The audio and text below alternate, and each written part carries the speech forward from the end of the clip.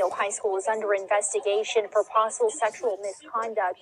Tornillo ISD sent us a statement saying, in part, quote, The teacher has been placed on paid administrator leave. This teacher was placed on December 2nd and will be on leave indefinitely pending investigation, end quote. The El Paso County Sheriff's Office also issued a statement saying it's received an allegation on the matter. The Sheriff's Office says it's in the preliminary information gathering phase at this point.